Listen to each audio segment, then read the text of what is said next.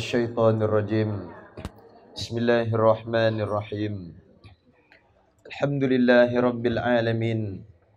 والصلاة والسلام على أشرف الأنبياء والمرسلين وعلى آله وصحبه أجمعين.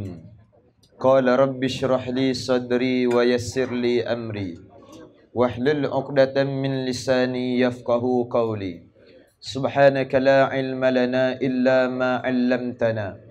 إنك أنت العليم الحكيم ولا حول ولا قوة إلا بالله العلي العظيم ولا حول ولا قوة إلا بالله العلي العظيم ولا حول ولا قوة إلا بالله العلي العظيم بلغ الرسالة أدى الأمانة وخسف الأمة ونصح الأمة وجاهد في الله الذين آمنوا حق جهاده حتى أتانا اليقين رب يسر ولا تعسر وتمم بالخير يا رب العالمين أما بعد السلام عليكم ورحمة الله وبركاته Alhamdulillah para hadirin muslimin muslimat tetamu yang dirahmati Allah Subhanahu wa taala sekalian. Pertama dan selamanya kita merafakkan setinggi-tinggi syukur kita pada Allah Subhanahu wa taala kerana dengan limpah dan kurnianya waktu dan saat ketika ini Allah masih lagi meletakkan kita untuk berada di atas jalan-jalan kebaikan di atas muka bumi Allah. Allah juga masih memilih kita untuk berada di dalam majlis-majlis ilmu ini walaupun masih berada dalam keadaan dalam suasana yang santai lalu dalam masa yang sama kita menjadi sebagai satu perkara tambah nilai dalam hidup kita tambah nilai dari sudut kehidupan di atas dunia walaupun dalam apa sekali yang kita lakukan bererti adanya sampai dengan ilmu dari Allah Subhanahu wa taala tersebut. Para hadirin tetamu yang dirahmati Allah Subhanahu wa taala sekalian, demikianlah di antara benda dan perkara yang kita kena tunaikan dalam kehidupan. Seperti antara disebut oleh para alim ulama. Ulama menggariskan dalam kehidupan kita di antara perkara yang perlu kita bicara dalam kehidupan kita ni yang dinamakan sebagai muhasabah. Muhasabah yang perlu ada dalam hidup kita ni empat perkara kata para alim ulama. Yang pertama, kita digalakkan dalam hidup kita ni apa sekalipun kita, siapa pun kita di atas muka bumi Allah, di mana pun kita di atas muka bumi Allah Subhanahu wa taala, pertama sekali kita digalakkan iaitu muhasabah tentang masa dalam hidup kita.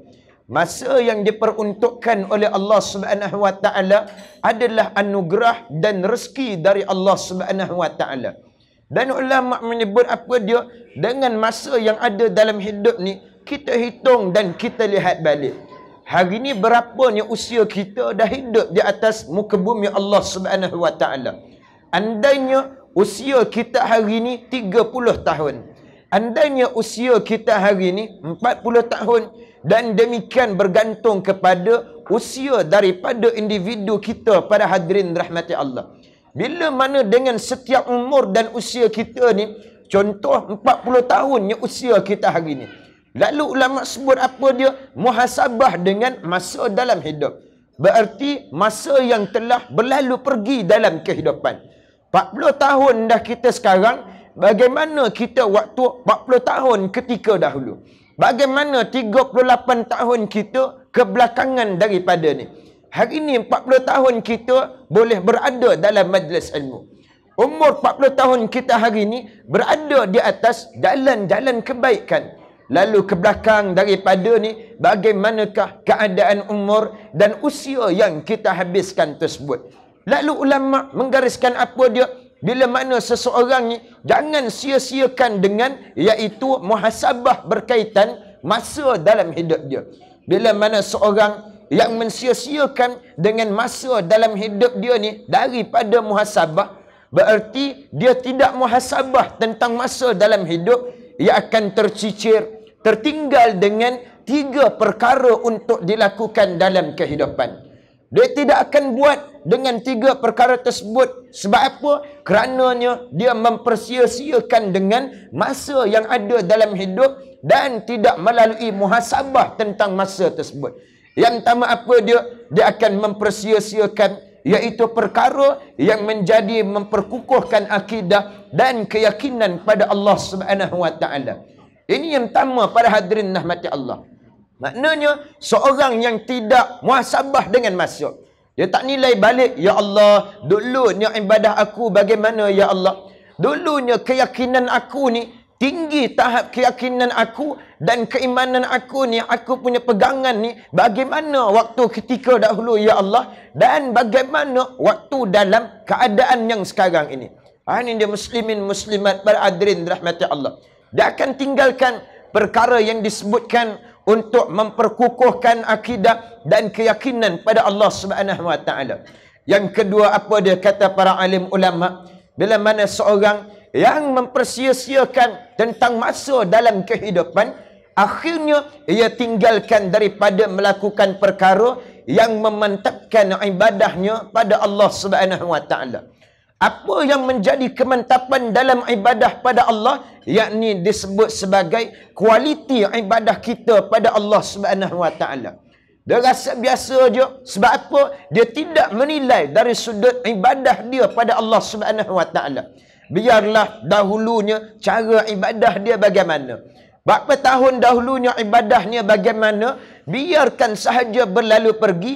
Dan sekarang ni pun bila dia tidak muhasabah tak apa sama sahajalah macam beberapa tahun ketika dahulu. Ini akan tinggalkan dengan yang tersebut dan yang ketiganya disebut oleh para alim ulama iaitu apa dia ia akan mempertinggalkan iaitu perbaiki akhlak yang masih belum sempurna dalam kehidupan ini muslimin muslimat pada hadirin rahmati Allah sekalian maknanya kita tak terfikir dah nak baiki akhlak kita yang masih belum sempurna. Ya walaupun kita boleh tanya balik pada hadirin rahmati Allah. Kita tikaikan balik pada hadirin sekalian akhlak kita ni Ustaz. Mana nak boleh jadi orang yang berakhlak sempurna? Kita ni manusia biasa bukan boleh jadi sebagai manusia sempurna seperti mana baginda Rasulullah sallallahu alaihi wasallam. Ya betul pada hadirin rahmati Allah. Ya kita memang tak boleh menjadi dengan dapat dengan akhlak yang sempurna dalam hidup. Dan kita pun tak boleh jadi manusia yang maksum sama macam Rasulullah. Tapi para hadirin rahmati Allah Subhanahu wa taala sekalian, apa yang kita mampu buat usaha para hadirin rahmati Allah. Usaha dan usaha dalam hidup kita ni nak perbaiki akhlak kita para hadirin rahmati Allah sekalian.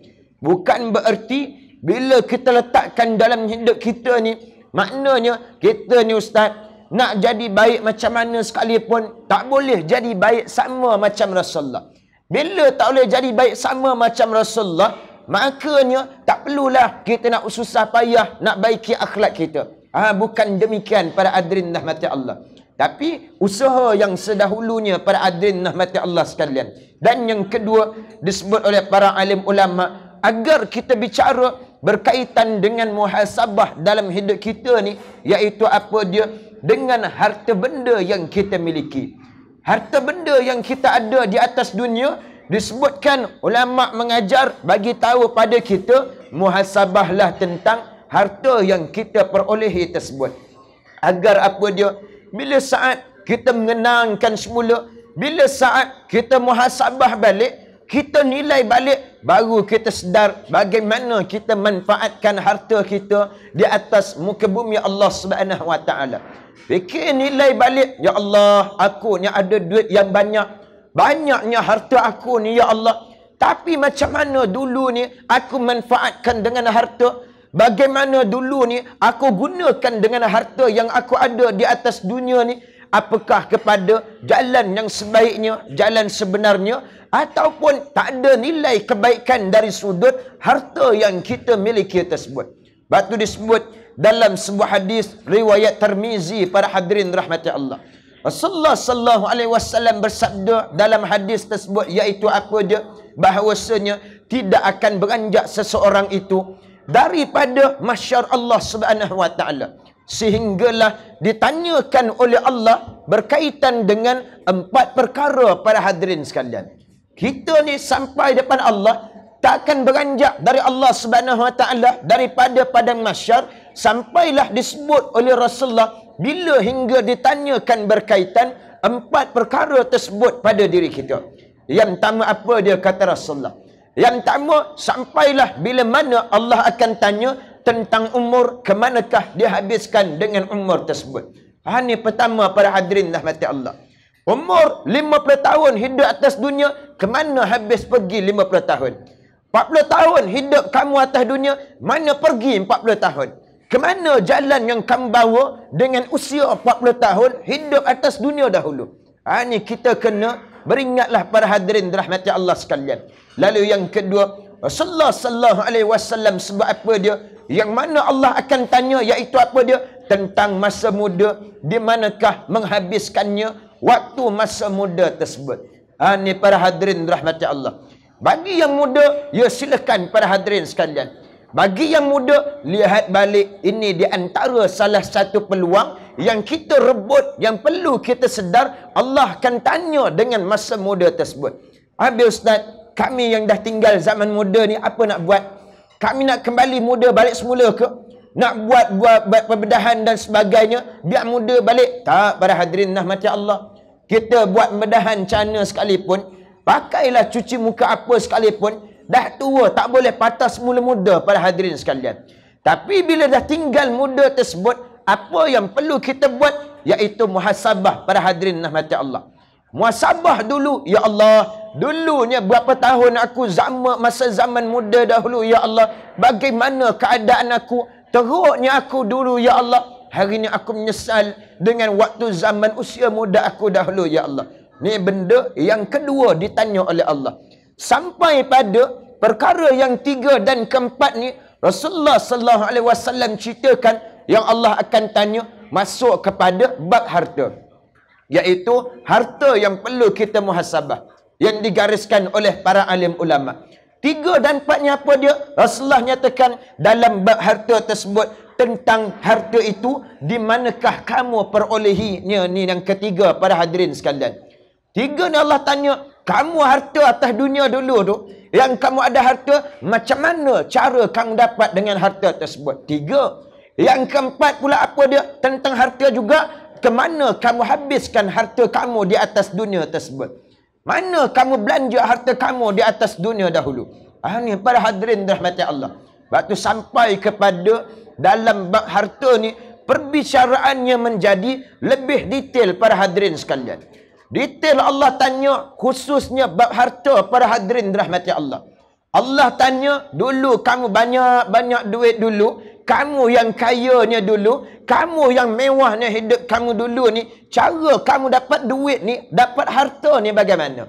Apakah dengan cara halal? Apakah dengan cara betul? Tapi adanya dengan perkara-perkara yang dilarang dalam agama? Apakah kamu dapat harta?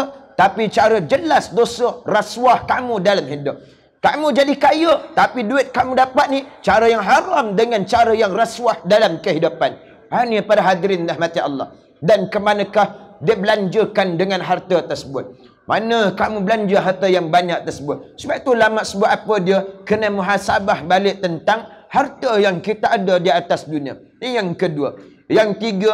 Digariskan oleh para alim ulama. Tentang bab muhasabah dalam hidup ni. Iaitu tentang amalan kita. Terutamanya solat yang kita lakukan. Ha, muslimin muslimat dirahmati Allah. Solat kita buat ni pun walaupun benda baik pada hadirin sekalian. Tapi apa dia? Ulama ajar muhasabah balik tentang solat yang kita buat. Dulu solatnya kita ni bagaimana? Berapa puluh tahun dulu hidup kita ni solat macam mana? Sekarang ni solat kita bagaimana para hadirin sekalian? Kalau dulu ni bolehlah kita jauh sikit para hadirin rahmati Allah.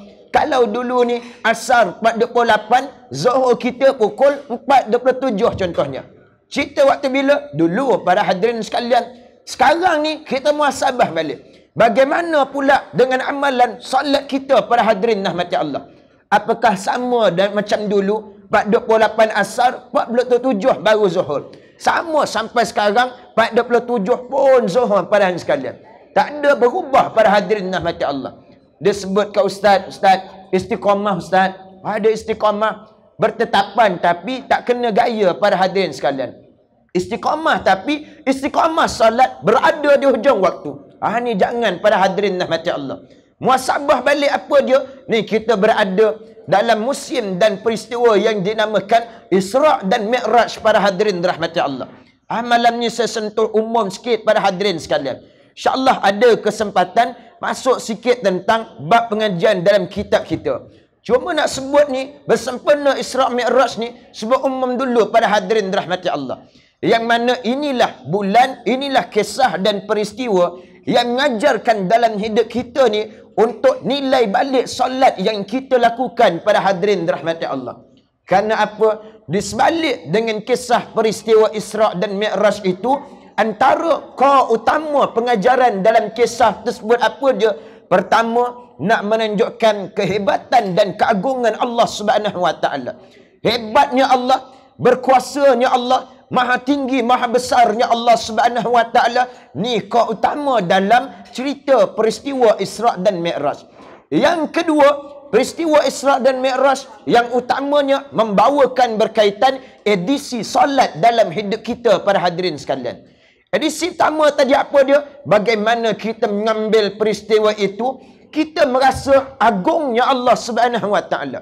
Kalau hari ini kita nampak agung dan mulianya manusia dalam hidup. Hebatnya seorang manusia dalam hidup peristiwa Isra dan Mi'raj ini menggambarkan hebat lagi Allah Subhanahu wa taala.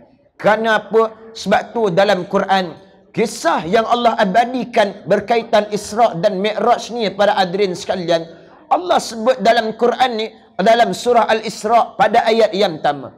Ini di antara salah satu ayat yang Allah cerita berkaitan berlakunya Isra dan Mi'raj.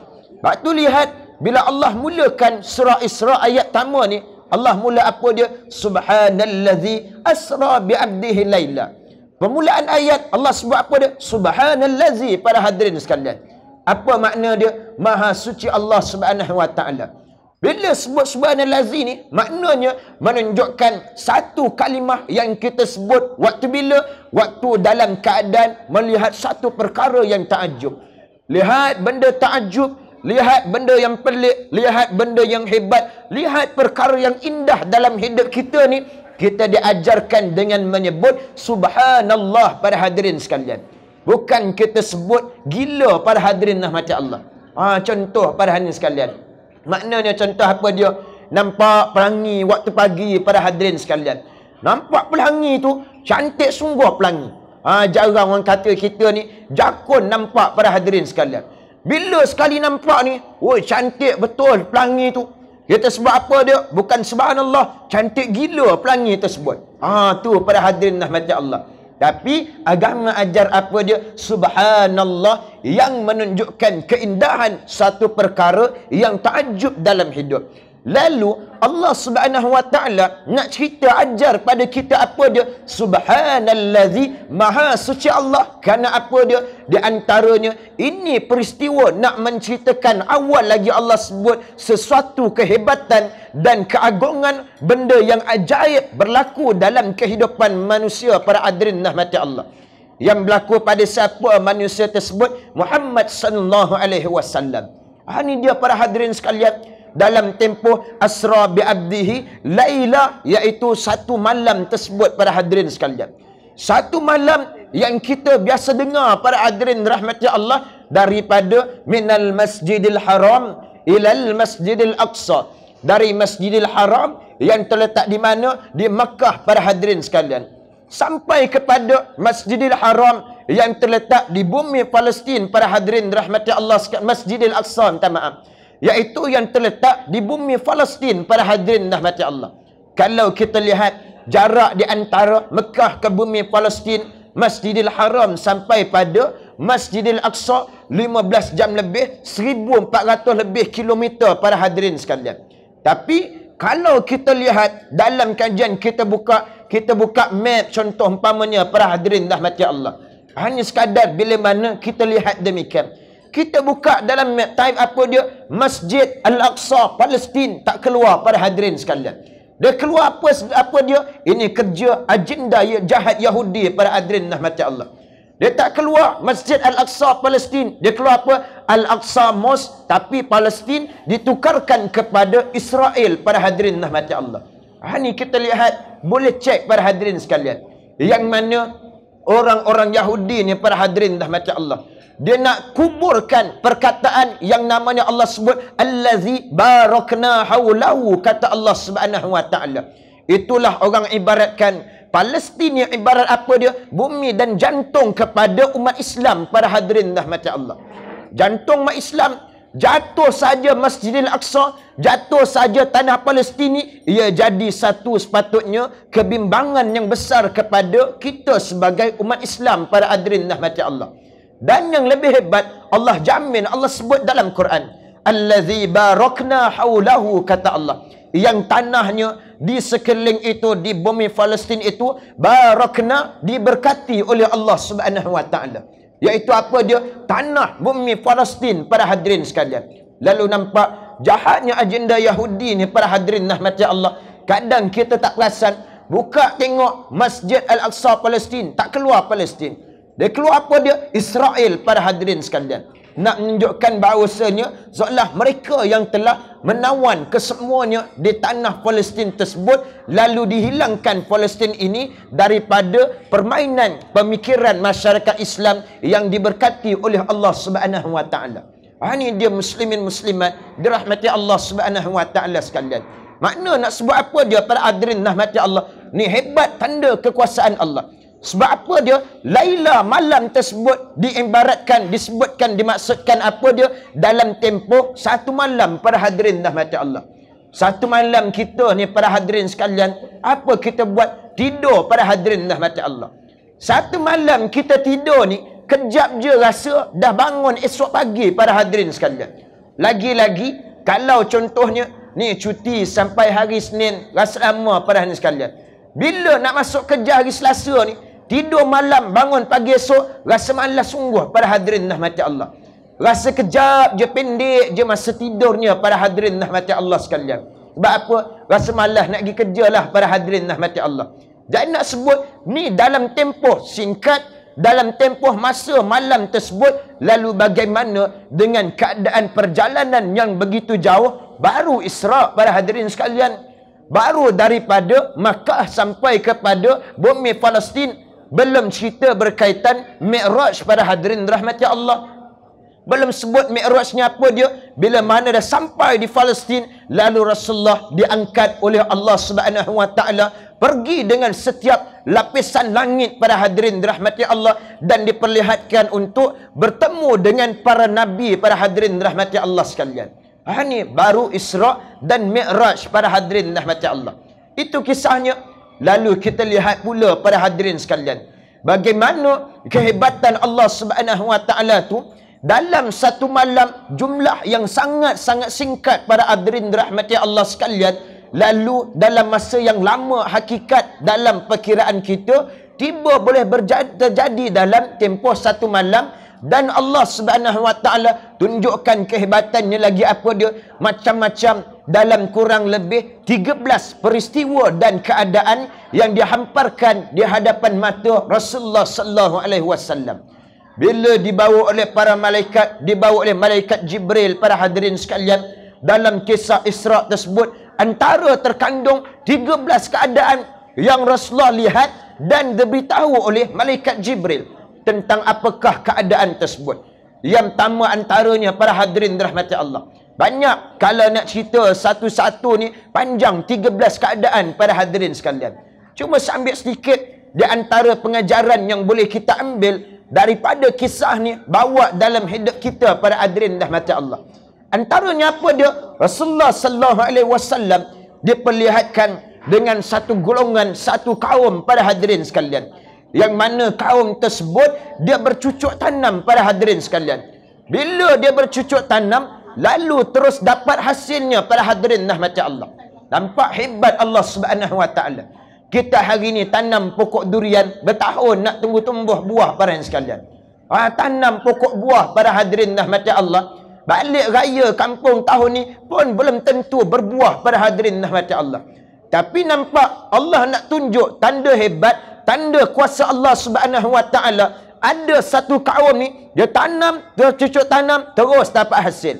Bila tanam semula dapat hasil para hadirin sekalian. Dan keadaan ini berulang kali berlaku para hadirin rahmati Allah. Lalu Jibril bagi tahu pada Rasulullah, wahai Rasulullah, inilah yang mana mereka ni yang berjihad fi sabilillah di atas jalan Allah yang diberikan dengan pahala 700 kali ganda dan bahkan lebih lagi daripada keadaan ganjaran tersebut. Hebatnya para hadirin rahmat Allah sekalian. Ha ni sebentar lagi kita akan kaitkan sebagai pengajaran dalam hidup kita. Lagi yang kedua apa dia para hadirin rahmat Allah? Bila mana Rasulullah sallallahu alaihi wasallam diperlihatkan dengan tanda hebat kekuasaan Allah, kasih sayang Allah Subhanahu wa taala sampai pada satu bahagian tempat yang Rasulullah terhidur dengan satu bauan yang sangat haram para hadirin sekalian. Bila Rasulullah ni bau je dengan satu bauan yang haram ni para hadirin rahmatnya Allah, lalu Jibril terus bagi tahu pada Rasulullah, "Wahai Rasulullah, bauan yang haram yang kamu bau, yang kamu hidup, ini adalah yang, disebut sebagai kubur masyitah, iaitu penyisir rambut anak kepada Fir'aun laknatullahi alaih.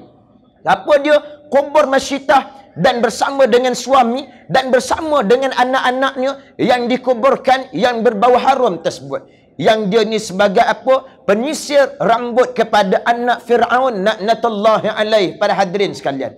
Kenapa bau haram tersebut? Kerana mereka ini mempertahankan keimanan dan agamanya hanya kerana Allah Subhanahu Wa Taala dalam erti kata ia ingkar sujud kepada Firaun yang mengaku sebagai Tuhan.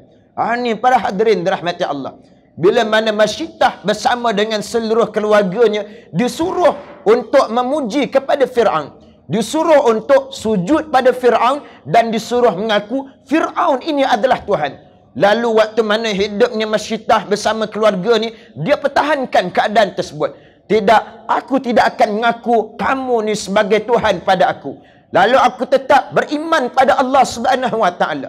Lalu dihukum dengan bunuh para hadirin sekalian. Maka hebatnya kubur bauan yang derhidu dengan bau yang sangat wangi para hadirin rahmati Allah. Itu di antara yang kedua. Benda yang digambarkan perkara yang indah. Namun demikian, ada juga perkara yang ditunjukkan Allah Subhanahu wa taala menunjukkan kepada Rasulullah iaitu keadaan-keadaan yang buruk dan membimbangkan sebagai pengajaran dalam hidup kita. Apa yang buruk, apa yang takut para hadirin sekalian bila mana ada satu kaum Rasulullah diperlihatkan kaum tersebut ni dia memecahkan kepalanya lalu pecahlah kepala dan kembali semula elok para hadirin rahmat Allah. Kaum ni dia sendiri pecahkan kepala. Pecahkan kepala, Allah jadikan elok semula kepala dia. Bila elok semula, dia pecahkan lagi kepalanya sendiri pada hadirin sekalian. Lalu Rasulullah tanya pada Jibril, "Wahai Jibril, apakah maksud dan tanda yang demikian?" Jibril bagi tahu, "Wahai Rasulullah, inilah yang mananya kaum itu yang dienggan sujud dan berat kepalanya untuk salat beribadah pada Allah Subhanahu wa taala." Dia berat kepala dia nak sujud dengan Allah dalam kehidupan. Ha ni para hadirin sekalian, maknanya apa yang nak bawa dalam hidup kita ni berkaitan dengan kepentingan solat tersebut para hadirin rahmati Allah. Penting nilai solat sebab apa dia? Dalam Isra' Mi'raj ni simbolik amalan yang disyariatkan oleh Allah dalam hidup kita iaitu utamanya yang awalnya berkaitan dengan solat dalam hidup. Dan kita lihat Allah jadikan ini pensyariatan awal yang utama dalam kisah tersebut dan tak dibuat dalam hidup kita dan perkara ini jugalah yang disebutkan sampai je depan Allah Subhanahu Wa Taala perkara awal sekali yang dihitung di hadapan Allah tidak ada lain iaitu yang awal sekali dihitung tentang solat. Ha ni para hadirin rahmati Allah. Allah syariatkan jadikan solat tu penting sebab apa? Ada kaitan sampai depan perkara utama sekali ditanya oleh Allah tentang solat kita dalam hidup. Dan disebutkan bila mana kualiti seorang itu hidup beragama pun berkaitan dengan solat pada hadirin sekalian. Yang biasa kita dengar apa dia? Waman siapa yang mendirikan solat berarti ia telah mendirikan agama dalam hidup. Tapi siapa yang apa dia? Waman hadamaha faqad hadamaddin. Yang mana sesiapa yang meruntuhkan yang tidak menjaga solat berarti ia telah meruntuhkan agama dalam hidup.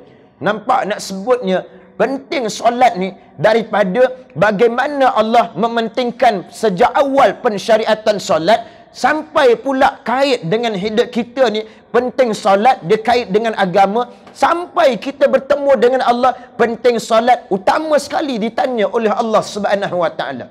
Ah cuma kadang kita tak nampak nilai tersebut pada hadirin sekalian.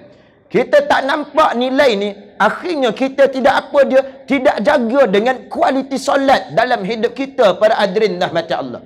Sebab tu apa yang saya sebutkan pada hadirin sekalian berkaitan dengan solat ni sebagai nilai kualiti penjagaan dalam hidup kita ni ada tiga level peringkatnya pada hadirin rahmat Allah tiga peringkat untuk kita nak lihat balik muhasabah balik tentang amalan terutamanya solat yang kita lakukan berkaitan dengan simbolik iaitu syiar dari Allah Subhanahu wa taala yang mana benda wajib kita buat. Yang pertama apa dia para hadirin rahmati Allah. Langkah pertama level pertama ni iaitu benda basic kecil je para hadirin sekalian. Tapi kecil-kecil pun jangan kita anggap remeh para hadirin rahmati Allah. Akhirnya tinggal perkara tersebut. Apa dia? Yang pertama ni usahalah dalam hidup kita ni untuk sehabis mungkin jaga dengan solat fardu lima waktu tersebut. Ha ni para hadirin rahmat Allah. Lalu bila kita sebut demikian, ramai kita nampak ustaz, itu kecil je. Itu cerita dengan pelajar sekolah, cerita dengan budak sekolah menengah, dengan sekolah rendah je. Tak para hadirin rahmat Allah. Lihat, jumpa di luar sana Berapa ramai usia 45 tahun masih lihat melakukan solat pada hadirin rahmati Allah. Ramai usia 50 tahun, usia 60 tahun yang orang kata istilah kita ni sebut apa dia para hadirin sekalian? Kubur kata mari, rumah kata pergi para sekalian. Ah ni para hadirin rahmati Allah. Umur yang kita istilahkan demikian tapi ramai lagi yang meninggalkan solat. Ramai lagi yang dijadikan solat ni on off dalam hidup dia on off ibarat macam aircon pada hadirin sekalian. Bila panas je, bila kehangatan tu sampai, dia buka aircon untuk sejuk pada hadirin rahmat Allah. Bila sejuk kedinginan itu sampai, dia nak kembali semula pada panas, off balik aircon pada hadirin rahmat Allah. Ha, dia jadi solat demikian pada hadirin sekalian. Bila kehangatan maknanya semangat ni datang, datang sampai semangat, jaga sungguh solat pada hadirin rahmat Allah. Tapi bila mana hilang dengan kehangatan, hilang dengan semangat tersebut, maka dia tak buat solat pada hadirin rahmati Allah. Ha, ini level langkah pertama pada hadirin rahmati Allah sekalian. Yang kedua, muslimin muslimat dirahmati Allah Subhanahu wa taala yang mana sebagai langkah level naik sikit level yang kedua. Naik level kedua ni sebagai apa dia? Penjagaan nilai kualiti solat dalam hidup kita. Yang kedua apa dia? Iaitu usaha untuk kita jaga solat berada pada awal waktu pada hadirin rahmati Allah. Ah, ini level langkah kedua. Yang pertama tadi tu, walaupun bocor-bocor Ustaz, tapi cuba juga untuk dapat jaga sehari lima kali, jangan sampai tinggal langsung. Bagi kita rasa sedar dan bagi rasa pentingnya solat itu dalam hidup. Selesai pertama, walaupun terlewat sikit, tak apa. Yang penting, buat dulu, jangan sampai tinggal. Bila selesai pertama ni, naik pula pada kedua. Bila naik kedua ni, Alhamdulillah, kamu dah dapat jaga dengan solat fardu. Sekarang ni masanya untuk cuba dapat jaga solat berada pada awal waktu. Walaupun kita katakan, Ustaz, saya ni bekerja, kadang nak dapat solat awal waktu ni, benda yang payah nak dapat. Terutamanya bila hari kerja ni, masuk waktu zuhur. Waktu zuhur tu lah waktu rehat. Waktu zuhur tu lah waktu nak makan. Waktu zuhur itulah nak relax sikit. Waktu zuhur itulah nak buat benda-benda yang lain selain daripada pekerjaan. Ya, walaupun demikian, tapi sehari hidup kita ni pastikan adanya usaha kita nak dapat jaga solat berada pada awal waktu. Jangan jadikan itu sebagai alasan yang akhirnya habis kita tak ada usaha pada hadirin rahmat Allah. Ah dia sebab apa dia? Alah ustaz, saya ni pun Ustaz, dah cuba nak solat awal waktu tapi setiap hari waktu zuhur je saya tak boleh Ustaz. Ha, berarti dia blok dah awal pada hadirin sekalian. Fikiran dia ni, dia blok awal dulu dah pada hadirin dah mati Allah. Ya memang kita faham rutin harian dia, waktu zuhur macam mana. Waktu rehat, waktu kerja ni macam mana payah nak dapat. Tapi jangan kita blokkan para hadirin rahmati Allah. Jangan kita halang tanpa ada usaha para hadirin rahmati Allah. Ini tak halang dulu para hadirin sekalian. Oh tak boleh ustaz. Zuhur saya memang tak boleh nak dapat solat awal waktu. Sedangkan kalau usaha anda Allah bagi rezeki boleh je dapat pada hadirin rahmati Allah sekalian. Hanya para hadirin rahmati Allah. Lepas tu dia tangguh pula waktu bila saya tak boleh ustaz. Tangguhlah bawa pada hari esok. Ha, bawa esok juga para hadirin sekalian. Sebab apa? Nak sebutnya guru kita para alim ulama ni para hadirin sekalian tok-tok guru para alim ulama ni mereka ni bukan kata solat. Hidup mereka ni pada hadirin rahmati Allah. Kehidupan yang mereka ada waktu hidup dekat atas dunia mereka sangat bimbang saat masa hidup mereka ni bukan daripada tahun ni sampai tahun depan. Kita bimbang nampak yang jauh pada hadirin rahmati Allah. Bimbangnya tahun depan tak hidup bukan. Dan bukan kebimbangan ni daripada satu bulan pada bulan berikutnya bimbang tak dapat jumpa pada bulan depan. Dan bukan juga bimbang satu minggu ini kepada minggu yang lain. Bimbang takut tak sempat hidup pada minggu depan. Bukan juga pada hari ini pada hari esok. Tapi mereka menyatakan bimbang ni waktu bila? Daripada satu waktu sampai kepada waktu yang berikutnya. Contohnya para hadirin sekalian ni subuh kita dapat buat para hadirin baca Allah. Alhamdulillah hidup dah subuh tapi mereka bimbang, Ya Allah, bimbangnya aku andai tak sempat hidup nak bertemu dengan salat fardu zuhur sebentar lagi ni, Ya Allah. Aku bimbang kalau aku tak sempat hidup sampai zuhur, maka daripada subuh aku ni sampai sekarang ni, berapa banyak sangat benda yang aku boleh bawa nak jumpa dengan Allah Subhanahu Wa Taala. Ini kebimbangan tersebut. Atas lagi dalam solat kita pada hadirin rahmat Allah. Waktu solat ni, dia tak dapat satu waktu ni, usaha waktu asar ada lagi. Cuba nak dapat waktu asar pula. Asar, bila mana asar tak berpeluang, asar tak dapat, ada waktu maghrib. Cuba waktu maghrib. Jangan asar tak dapat, sedangkan ada dua waktu lagi. Tak apalah, kita cuba hari esok. Ah ni para hadirin sekalian. Cuba satu waktu pada waktu berikutnya. Tak dapat juga. Cuba juga waktu berikutnya. Ah, ini para hadirin rahmati Allah ta'ala. Jadi ini yang kedua para hadirin sekalian. Dan sampai setelah mana level dan peringkat kedua tersebut dalam nilaian kualiti salat kita. Sampailah naik pada satu tangga yang kemuncak. Tangga yang ketiga ini tentang kualiti salat dalam hidup kita ni. Apa dia? Usaha untuk mendapat nilai khusyuk kita dalam salat yang kita lakukan. Ha ni ketiga para hadirin rahmati Allah. Bila tama tadi jaga dah lima waktu alhamdulillah. Lepas tu naik kedua cuba dapat awal waktu. Bila dah dapat awal waktu jaga dah dengan solat kita cuba dalam solat ni nak dapat dengan satu nilai yang namanya khusyuk dalam ibadah solat yang kita lakukan. Ha ni para hadirin rahmati Allah. Dan inilah yang disebut sebagai kemuncak kita kualiti dalam solat para hadirin sekalian. Sebab apa? Allah Subhanahu Wa Taala pun sebut dalam Al-Quranul Karim. Yang hebatnya dengan nilai khusyuk tersebut sehingga Allah sebut apa dia? Surah Al-Mu'minun pada ayat pertama dan ayat kedua. Apa dia kata Allah Subhanahu Wa Taala? Qad aflahal mu'minun allazina hum fi salatihim khashi'un. Lihat kata Allah Subhanahu Wa Taala Allah bagi tahu apa dia? Qad aflahal mu'minun kata Allah. Hanya senya, hanya sesungguhnya berjayalah orang-orang yang beriman pada Allah Subhanahu wa taala. Tama ni Allah sebut sebagai topik pada hadirin sekalian. Ha, macam karangan dah kita buat pada hadirin dah mata Allah. Kita cari topik apa nak bincang. Surat kita nak keluarkan apa topik yang nak bicara pada hadirin dah mata Allah. Lalu ayat tama ni Allah bagi tahu topiknya apa dia? Orang beriman dan berjaya di sisi Allah Subhanahu Wa Taala.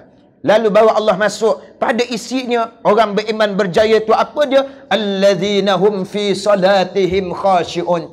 Yang mana dia kalau kita lihat sebenarnya mula ayat 2 ni sampailah kepada ayat 9 ada tujuh ciri dan sifat orang beriman berjaya di sisi Allah Subhanahu Wa Taala. Cuma tak apa saya tak nak sentuh yang lain. Ambil ayat kedua sebagai sifat dan ciri yang pertama. Apa dia? Yakni mereka yang berjaya mendapat nilai khusyuk dalam ibadah salat yang mereka lakukan pada Allah Subhanahu Wa Taala.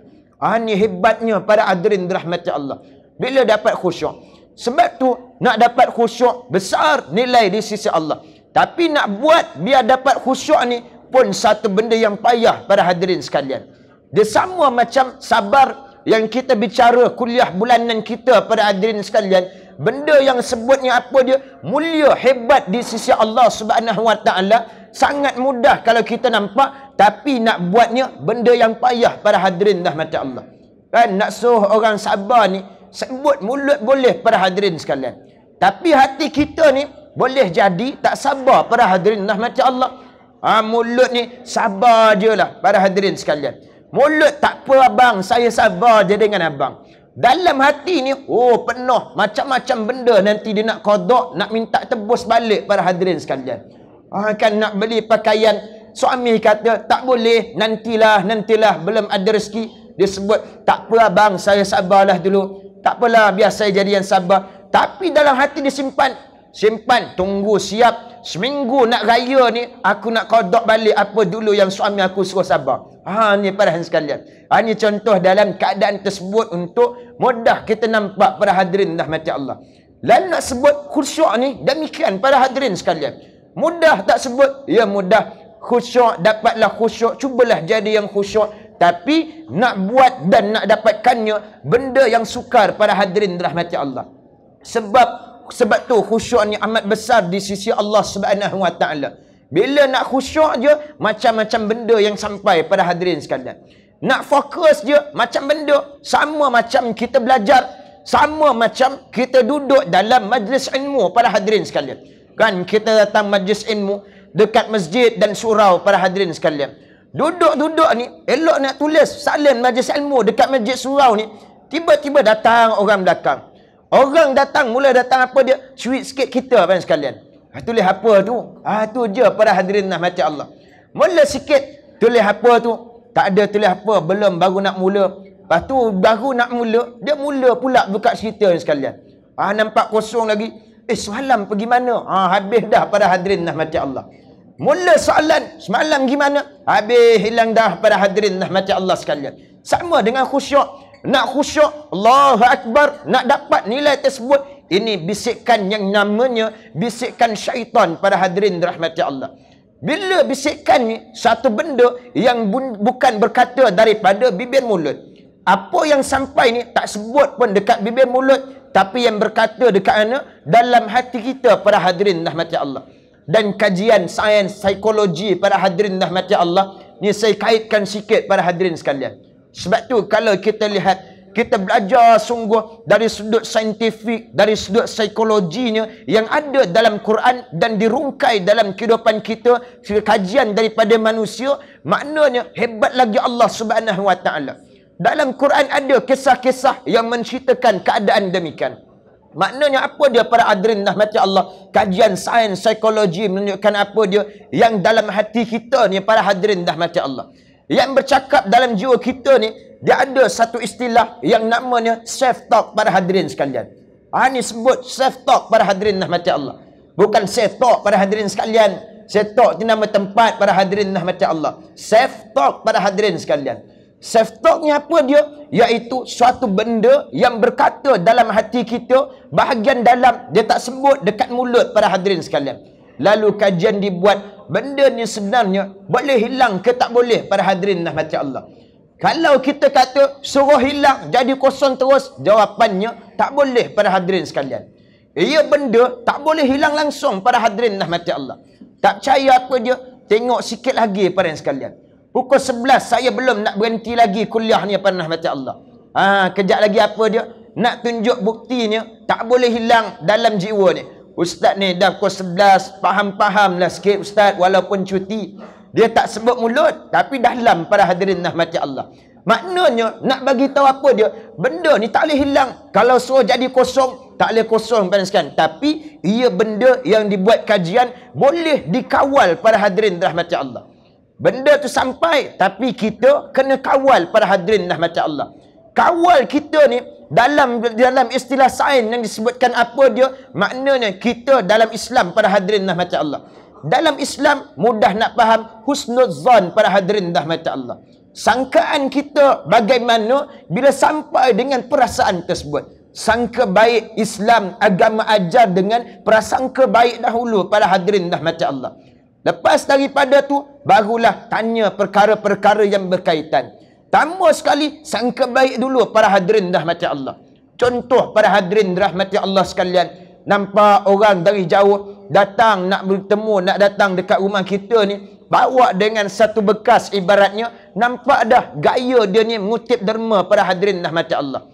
Tamu kita ni nampak dari jauh dia datang kat lorong nak pergi rumah kita. Hati kita ni apa dia oh tak betul ni orang jahat ni confirm dia ni penyangak tak penyangak pencuri tak pencuri penyamun ha tu padan sekalian ini benda yang kata para hadirin rahmat Allah jadi bila benda ni kalau dilayan benda ni tak dikawal pada hadirin rahmat Allah bila tak dikawal, dia akan jadi lapisan demi lapisan dalam fikiran kita para hadirin rahmat Allah.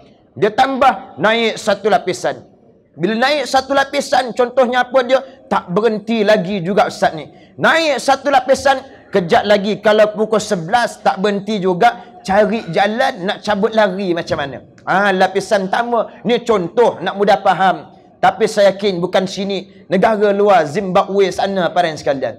Ha, naik satu lapisan. Lepas lapisan pertama, tak kawal juga lagi. Tak boleh nak kawal dengan baik. Naik pergi lapisan kedua. Lapisan kedua makin menebal dia punya benda setok pada hadirin rahmat Allah. Naik lapisan kedua ni apa dia? Weh ustaz ni nak buat gaya macam mana ni? Nak baling benda ke suruh berhenti? Lepas tu kalau fikir nak keluar tadi, nak keluar macam mana ni? Bagi orang tak nak nampak, bagi nampak okey sikit. Ha, ni para hadirin rahmat Allah. Akhirnya bila tak dikawal dia bawa naik lapisan demi lapisan sampailah dia ada satu istilah yang namanya iaitu apa dia meta state para hadirin dah mati Allah. Ha ni saya kaitkan sikit para hadirin sekalian bagaimana di antara kajian sains psikologi yang dibuat para hadirin rahmati Allah dan berkaitan dengan diri dan kehidupan kita para hadirin sekalian dan apa yang agama ajar dalam hidup kita.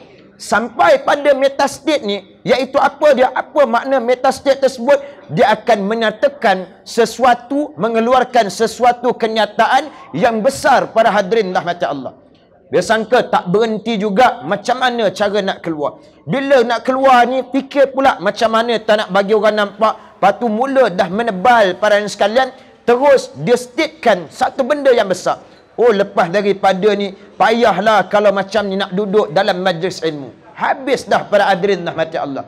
Jadi ini para hadirin muslimin muslimat rahmati Allah Subhanahu wa taala sekalian. Maknanya balik pada khusyuk tersebut para hadirin rahmati Allah. Kalau bahasa mudah sebut khusyuk apa dia? Fokus kita dalam solat para hadirin sekalian.